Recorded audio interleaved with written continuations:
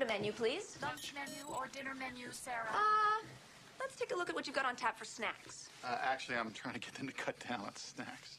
Not to worry, Nick. My database was prepared by a team of nutritionists to ensure a balanced diet for each member of the family. Ben, say something to Pat. Uh, hey Pat, how's it going? Fruit and fiber intake in the acceptable range, protein adequate, exhibits tendency to ingest excessive amounts of refined sugar. Told you to go easy on the sugar bursties. Hey, uh, how'd she know all that? Her atmospheric kitchen sensors act as instant breathalyzers and break down your entire diet. Care to give it a shot? No, thanks. I get enough grief from my doctor. I'm thirsty.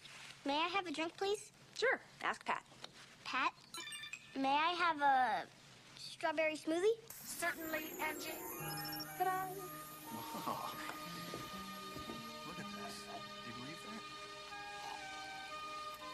Well, Yum. Good. Listen. Whoa!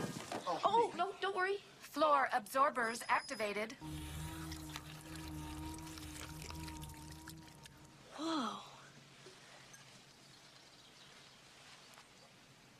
Where'd it go? Where all smart house spills go, straight into Pat's floor absorbers. I could definitely get used to this. I think I already have. So you mean we're gonna do it? We're gonna move in? Uh, what the heck? Why not? Cool. All right. I love it here. Listen, if it doesn't work out, we can all move back home, all right? Sure. Although I think it's only fair to tell you, Nick, that once you get used to this place, the way I've designed it, any other home is just going to be a house.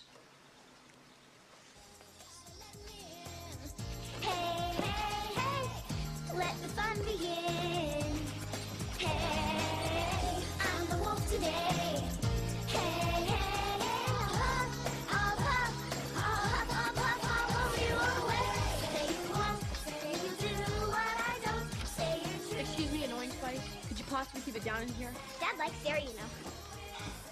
Shut up. I saw it with my own two eyes. He gave her the look. Your problem is the music you're listening to. It's rotting your brain.